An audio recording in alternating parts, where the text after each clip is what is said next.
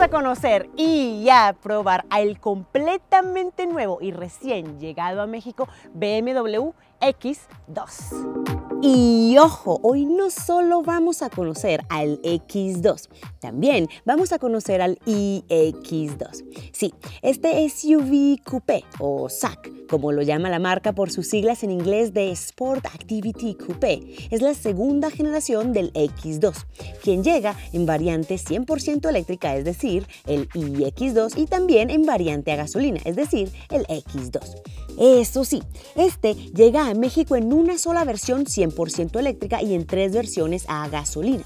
Y la marca no quiso generar muchas diferencias entre ambas versiones, así que podrás diferenciar el de gasolina versus el eléctrico básicamente por su parrilla, que en el eléctrico es cerrada y en la gasolina es abierta. Y la otra diferencia, que es aún más sutil, es que en el eléctrico lleva detalles en azul alrededor del logo. De resto son prácticamente iguales. Incluso comparten plataforma. También mismas dimensiones, que debo de mencionar crece unos 20 centímetros de largo con relación a su generación anterior, para un total de 4.55 metros de largo, lo que nos entregará entonces mejor distancia entre ejes, unos 22 milímetros más, lo que se traduce en más espacio en cabina, más estabilidad también y además mejor espacio en cajuela que más adelante veremos.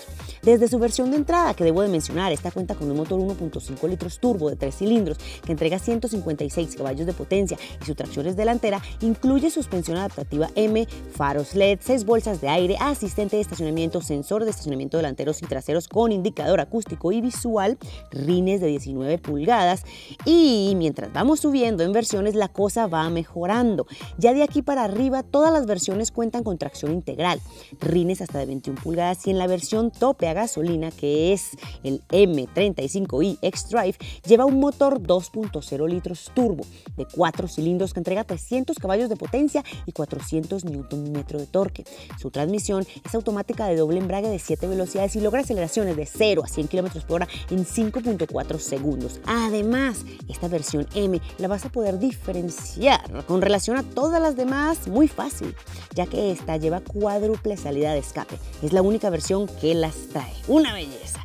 Y esta versión M sí podríamos decir que es como una mini X6, ¿verdad? y bueno, Precios desde 995 mil pesos mexicanos, lo que son unos 58 mil dólares americanos aproximadamente. Y hablemos de datos de este en su versión eléctrica. Cuenta con dos motores, uno en cada eje. Es entonces, sí, tracción integral. Entrega 313 caballos de potencia y casi 500 newton metro de torque. Logra aceleraciones de 0 a 100 kilómetros por hora en 5.6 segundos. Con una sola carga logra autonomías de 449 kilómetros y este, al tener las baterías en la parte baja, va a tener particularmente una sensación de manejo de mayor estabilidad. Y hablando de baterías, son de iones de litio con capacidad de 66.5 kilowatts hora. En su interior, ¿qué nos encontramos? Una cabina completamente coherente a lo que ya vimos en su exterior. Entonces tenemos líneas marcadas con algo de robustez, pero también fluidas y también una sensación de minimalismo. Además, algo que debo de mencionar es que en este momento estamos en el interior de su versión completamente eléctrica, 100% eléctrica. Aquí no lo recuerda con la I característica de los autos eléctricos de BMW. Sin embargo, las tres versiones a gasolina disponibles en México tienen un interior completamente igual en cuanto a diseño. Ahí te lo muestro con la magia del cine.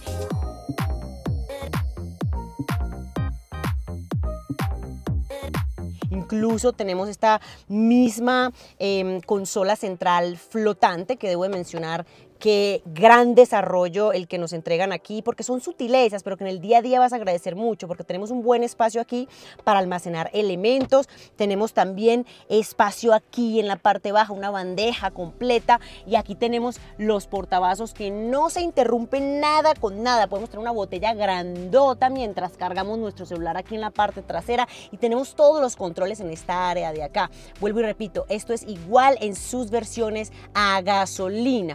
Desde Aquí tenemos entonces la posibilidad de llevar nuestra máquina a drive, a reversa, a neutra también.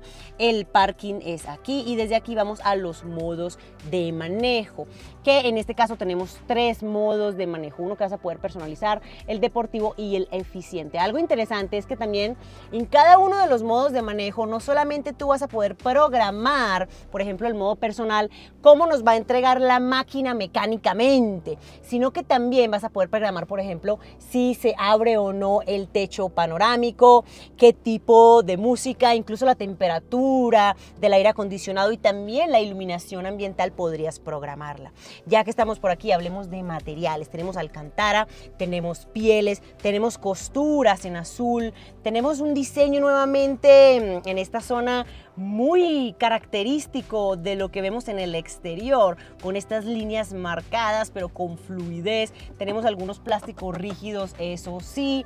Tenemos también más plástico por acá, alcantara por aquí, pieles, una pantalla de infoentretenimiento completamente digital y esto es una pantalla dual en realidad porque son infoentretenimiento y tenemos acá clúster de instrumentos, un volante que es multifunción, forrado en piel, muy característico de BMW. Tenemos también esta paleta del Boost, qué quiere decir esto?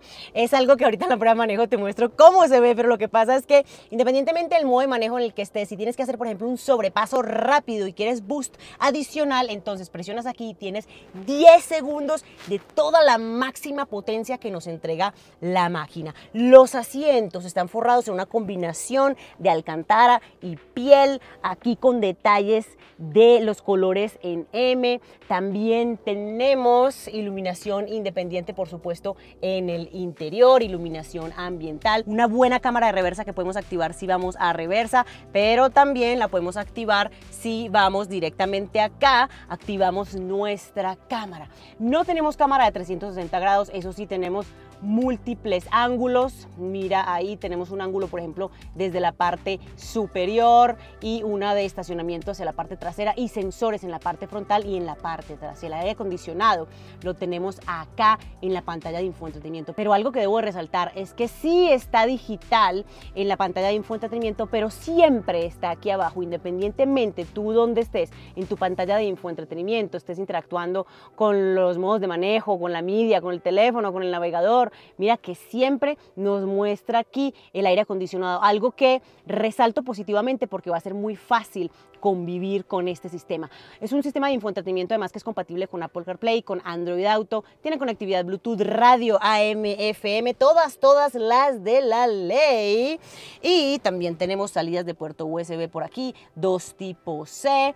Y en general eh, es una cabina muy bien lograda exquisita al nivel de detalle en general. Creo que vamos a conocer la plaza trasera, de ahí la cajuela rápidamente y de ahí nos vamos a lo mejor de cada video. ¿Qué, es? Manejar.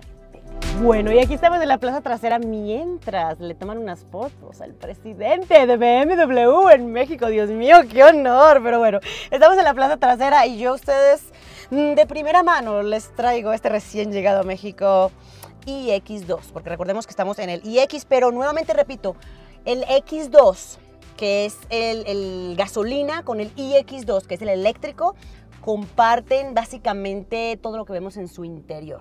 Entonces, tenemos mismo espacio aquí en la plaza trasera. Te recuerdo, yo mido 1,72, estoy en mi posición de manejo y así viajaría un adulto de 1,72. ¿Por qué en mi posición de manejo? Porque lo puse particularmente en mi posición de manejo para poder mostrarte realmente cómo sería viajar aquí atrás. Tenemos muy buena iluminación, pero esto no hace parte del auto, esto es parte del espacio, lugar de lanzamiento para tener buena iluminación aquí, gracias a nuestros amigos de producción. Tenemos salidas de puerto USB tipo C, dos adicionales. Recordemos que en la parte frontal ya vimos que tenemos dos. Tenemos una pequeña bandeja aquí en la parte baja, espacios para ubicar aquí como revistas, aunque ya casi nadie lee revistas, ojalá leyéramos más, pero iPads quizás. Y en cuanto a materiales, tenemos los mismos materiales que tenemos en la plaza frontal piel, alcantara, tenemos el mismo diseño, agarradera, también iluminación independiente y en general es un espacio donde vas a poder viajar muy bien.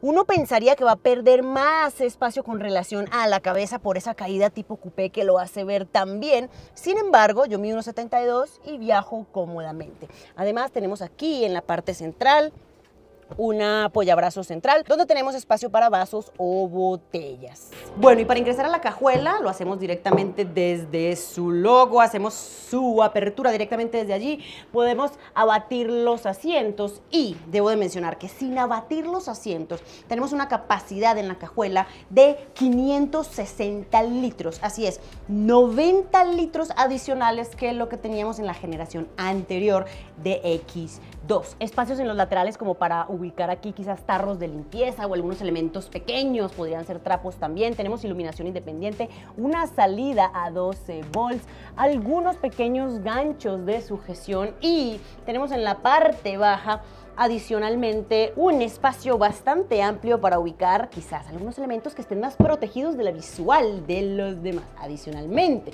tenemos esta bandeja que nos va a proteger del sol y también de la visual de los demás, lo que podamos tener en nuestra cajuela. Pero bueno, ahora sí, vámonos a lo mejor de cada video, a manejar. Venga.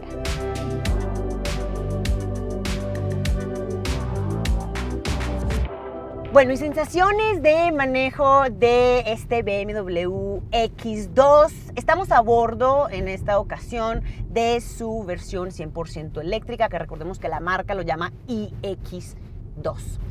Entonces, tenemos por supuesto una cabina aún más silenciosa porque no tenemos un motor a combustión que esté generándonos vibraciones y tampoco ruidos adicionales. Es bastante silenciosa, se siente sólido, se siente estable.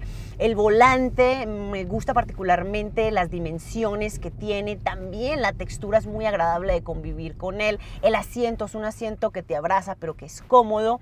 La suspensión es una suspensión que absorbe muy bien las imperfecciones del terreno, pero también es un auto que se siente dinámico y ágil. La aceleración como buen eléctrico es una entrega de torque inmediata. Ahorita que se libere un poco la calle, pegamos un aceleroncito para que ustedes puedan percibir cómo es esto, porque algo muy bonito que tienen los eléctricos es que cuando tú estás en la ciudad tienes un confort y, y una experiencia de manejo suave refinada, pero que si quieres agresividad y emoción, entonces puedes ir, por ejemplo, a el modo deportivo, que vamos a él de una vez, inmediatamente cambian los gráficos, es más, podemos activar el boost, lo voy a hacer ya en un segundo, voy a parar con la magia del cine ahí. Ok, ahora sí, ya activamos el boost, que lo activamos desde aquí, y ahí va, 3, 2, 1, sientan eso. ¿En eso? ¡Uf! Eso es una de las bellezas de los autos eléctricos, que justamente, a ver, no necesariamente porque te vayas a ir a pista, pero puede ser muy práctico, también muy seguro para cuando vas a hacer una incorporación, cuando vas a hacer un sobrepaso, un adelantamiento en carretera, por ejemplo, eh, o en la ciudad, en una, en una parte de alguna eh, calle rápida, esto ayuda muchísimo y bueno, si te quieres divertir en algunas curvitas, particularmente en este iX2 va a ser bastante divertido porque bastante ágil. Si lo fuera a resumir en tres palabras sería sólido, refinado y ágil. Pero bueno, ahora sí, hemos llegado al final del video. Muchísimas gracias por estar aquí. Espero te haya gustado este video. Cuéntame qué tal te pareció este BMW iX2 y también el X2. Próximamente tendremos el X2 a gasolina para su prueba completita, para que estés pendiente. Por ahora te dejo y espero verte en un próximo video. Gracias por estar aquí. mucho. Bye. Me cuentas, te. Y ya sabes que esto no se acaba tan rápido. Para quienes nos vemos en el canal, en esta sección hablamos de los peros o las cosas por mejorar que le veo al auto que acabamos de resellar. En este caso son básicamente dos. La primera tiene que ver con el sistema de sonido. Así es, porque es un sistema de sonido que al menos en esta versión tope de gama, que recordemos es la iX2, es decir, la versión eléctrica del X2, no tenemos un sistema de sonido firmado por ninguna marca premium y creo que por lo que estamos pagando, por el nivel de auto que es y el nivel de equipamiento que nos entrega, sí debería de traer un sistema de sonido más especial, como lo trae por ejemplo, sí, su versión M que tiene un sistema de sonido firmado por Harman Kardon. El segundo pero también tiene que ver con algo de equipamiento, porque se trata de la cámara de reversa.